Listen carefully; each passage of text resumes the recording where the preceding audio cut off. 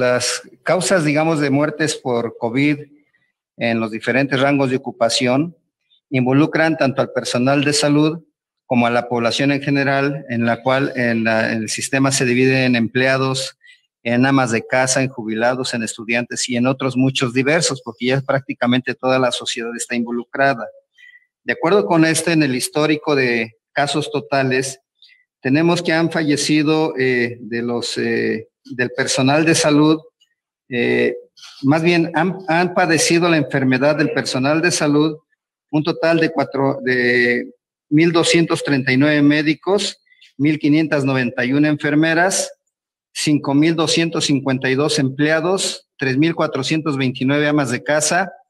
1.021 jubilados,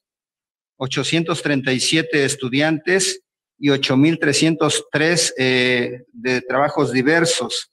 De todos ellos, solo quedan activos actualmente 1.381 y de estos 1.381 médicos son 53, eh, el personal de salud son 217, de los cuales médicos son 53, enfermeras 94, otros profesionales de la salud 70 y de empleados tenemos 70, amas de casa 214, jubilados 34, estudiantes 59 y eh, muchos otros que están eh, de todas prácticamente las ocupaciones, 787 personas.